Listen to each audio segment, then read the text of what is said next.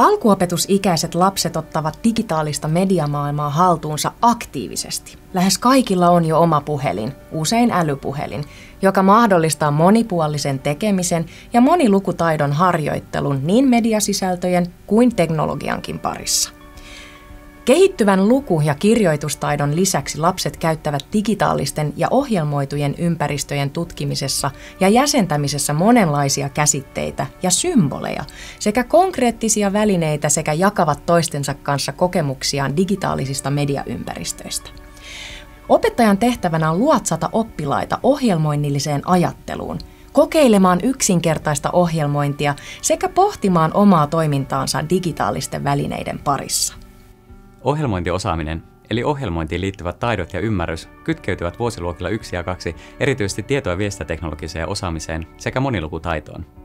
Ne ovat siten osa laaja-alaista osaamista, jota edistetään läpileikkaavasti kaikilla oppimisen alueilla.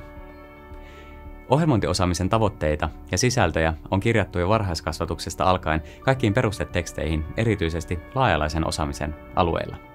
Jotta eri-ikäisillä lapsilla ja nuorilla olisi tasa-arvoiset mahdollisuudet oppia, olemme laatineet osaamisen kuvaukset varhaiskasvatuksen, esiopetuksen ja perusopetuksen tueksi. Kuvauksista muodostuu varhaiskasvatuksesta perusopetukseen kehittyvän osaamisen polku. Kuvaukset selkiyttävät ja helpottavat kasvatus- ja opetustyön suunnittelua ja toteuttamista sekä tukevat paikallisten suunnitelmien päivittämistä ja kehittämistä. Ohjelmointiosaamisen kuvaukset kiteyttävät vain olennaiset osa-alueet ja tavoitteet. Niitä voidaan täydentää, soveltaa ja rikastaa paikallisesti. Osaamisen kuvauksia voi hyödyntää esimerkiksi oman opetus- ja lukuvuosisuunnitelman, TVT-suunnitelmien sekä kulttuurikasvatus- ja mediakasvatussuunnitelmien laatimisessa ja kehittämisessä. Kuvaukset on jaettu kolmeen pääalueeseen, ohjelmoinnilliseen ajatteluun, tutkivan työskentelyyn ja tuottamiseen sekä ohjelmoituihin ympäristöihin ja niissä toimimiseen. Alkuopetuksessa vuosiluokilla 1 ja 2 ohjelmoinnillinen ajattelu koostuu neljästä osiosta. Loogiseen ajatteluun ja tiedon käsittelyyn liittyen oppilas järjestää ja vertailee asioita erilaisten ehtojen perusteella. Tunnistaa säännönmukaisuuksia ja toistuvia kaavoja sekä tekee havaintoja syy-seuraussuhteista. Hän kertoo valinnoistaan ja havainnoistaan käsitteiden ja konkreettisten välineiden avulla – Ongelmien ratkaisemisessa ja mallintamisessa oppilas purkaa tuttuun arjen ilmiöön liittyvän ongelman osiin sekä etsii ja kokeilee sen ratkaisuun erilaisia vaihtoehtoja. Hän osaa kertoa ratkaisutavoistaan. Ohjelmoinnin käsitteisiin ja perusrakenteisiin liittyen oppilas laatii vaiheittaisia toimintaohjeita käyttäen yksinkertaisia komentoja ja toistorakenteita. Hän tunnistaa ohjeiden tuottamia virhetilanteita ja kokeilee ratkaisuja niiden korjaamiseen. Käytännön taitoihin liittyen oppilas laatii leikillisiä toimintaohjeita, joilla hän ohjaa toista oppilasta, jotakin ohjelmoitavaa laitetta tai yksittäistä hahmoa jossain sovelluksessa tai verkkotehtävässä. Tutkiva työskentely ja tuottaminen rakentuu opetuksessa yhteiskehittelyn prosesseista, joihin liittyen oppilas esittelee omia ideoitaan, kuuntelee toisia sekä kokeilee ratkaisuja yhdessä ja vuorottelee eri rooleissa ohjelmointiin liittyvässä ryhmätyöskentelyssä. Luovan tuottamiseen liittyen oppilas rakentelee erilaista asioista mallinnuksia ohjeen mukaisesti sekä luovasti omia ideoitaan toteuttaen. Hän esittelee ja jakaa ideoitaan toisten kanssa. Oppilas työstää ohjatusti tai yhteistyössä muiden kanssa tarinallisuutta tai pelillisiä elementtejä sisältävän digitaalisen tuotoksen animointia tai yksinkertaista ohjelmointia käyttäen. Ohjelmointi on myös oppimisen väline. Oppilas käsittelee eri oppiaineissa harjoiteltavia sisältöjä käyttää leikillisesti ja kokeillen ohjelmointiin liittyviä toimintatapoja ja välineitä. Digitaalisessa maailmassa ohjelmoidut ympäristöt ja niissä toimiminen on tärkeä osa opetusta. Oppilas tunnistaa ja nimeää omasta kokemusmaailmastaan löytyvää tietotekniikkaa sekä tutustuu robotiikkaan. Oppilas kuvailee laitteiden käyttötarkoituksia ja toimintaperiaatteita.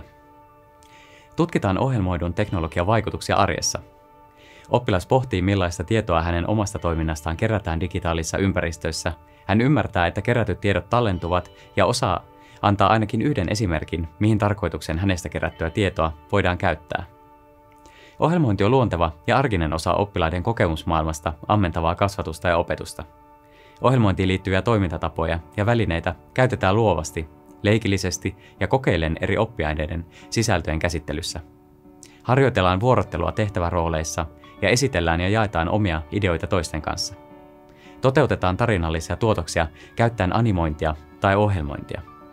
Ohjelmoinnillisen ajattelun ja ohjelmointiin liittyvien taitojen harjoitteleminen ei ole uusi, erillinen tai ylimääräinen juttu opetuksessa. Ohjelmointiosaamisessa oppilaiden kanssa havainnoidaan heidän kokemusmaailmassaan esiintyvää tietotekniikkaan ja tutustutaan robotiikkaan. Opetuksessa aiheen parissa tehdään jo paljon asioita, mutta kuvaukset auttavat vahvistamaan kasvatustyön tietoisuutta ja tavoitteellisuutta. Toiminta on näin helpompi yhdistää ohjelmointiosaamisen edistämiseen. Mitä konkreettisia asioita voidaan oppilaiden kanssa tehdä ohjelmointiosaamisen kehittymisen tukemiseksi? Ähm, ohjelmointiosaamisen kehittäminen oikeastaan lähtee siitä ensin, että opettaja itse tietää ne tavoitteet. Ja, ja minusta tämä on todella hyvä tämä osaamisten, osaamisen kuvausten kolme osa-aluetta. Koska ajattelen, että se, se tota, ohjelmoinnillinen ajattelu kehittyy niiden kahden muun, muun kautta, eli tutkivan työskentelyn kautta. Ja toisaalta siinä juuri siinä arjen ympäristössä, ohjelmoidussa ympäristössä toimimisen kautta. Ja tuota, alkuopetuksessa ykkös, kakkosella koko, koko opetus on sellaista, että se on aika eheyttävää. Se on aina oppiaineet toisiinsa integroituna. Ja siinä mielessä ohjelmoinnin opettaminen ei ole vain yksittäinen asia, vaan se on työväline. Sen kautta opitaan ja toki siinä samalla opitaan itse sitä ohjelmointia, mutta ajattelen, että ohjelmoinnista ajattelua. Ajattelen, että on tosi tärkeää, että opettaja sanottaa mahdollisimman paljon sitä, niitä asioita, mitä siellä lapsen kanssa oppiessa tapahtuu, kun hän oppii hän sanottaa sitä ympäristöä, niitä ohjelmoinnillisen ajattelun elementtejä. Että lapsihan toimii ja tekee itse aktiivisesti ja niin on tarkoituskin, että se ei ole vain sellaista opettajajohtoista, opettajajohtoista tuota, luennointia, vaan tuommoinen alkuopetusikäinen lapsi tekee itse. Mutta siinä samassa ne ohjelmoinnillisen ajattelun elementit tulee, tulee niin kuin hälle oppilaalle tietoisuuteen, kun opettaja niitä sanottaa. Ja sitten ihan käytännön esimerkkejä siitä, että mitä se voisi olla se ohjelmoinnillisen ajattelun edistäminen ja ohjelmoinnin opettaminen. Alkuopetuksessa kannattaa hyödyntää sellaista, että, että tehdään niin kuin hyvin toki drillaavia harjoituksia. Niitä voi olla ihmisrobotilla tai Beebotilla tai Bluebotilla, mikä tahansa sellainen käytännön tekeminen. Kyse on kuitenkin vielä leikillisestä toimista ja konkretiassa olemisesta, jossa voi harjoitella vaikka matematiikan sisältöjä.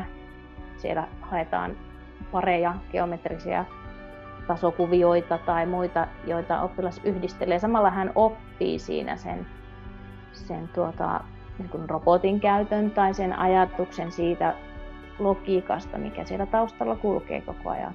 Kantava ajatus tässä on, että oppiminen tapahtuu sen ohjelmoinnin ja ohjelmoinnillisen ajattelun kautta, sitä hyödyntäen välineenä.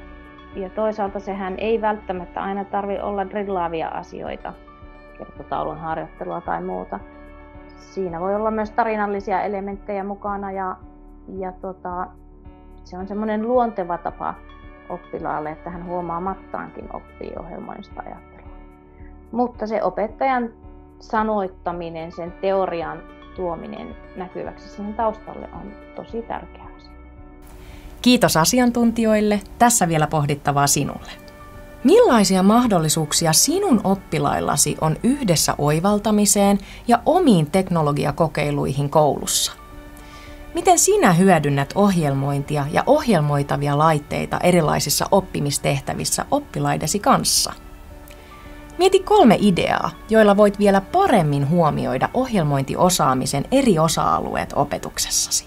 Tutustu osoitteessa uudetlukutaidot.fi tarkemmin aiheeseen ja lisämateriaaleihin. Tämän videosarjan muista videoista saat käytännön vinkkejä ja näkökulmia ohjelmoinnin opetukseen eri-ikäisten lasten kanssa.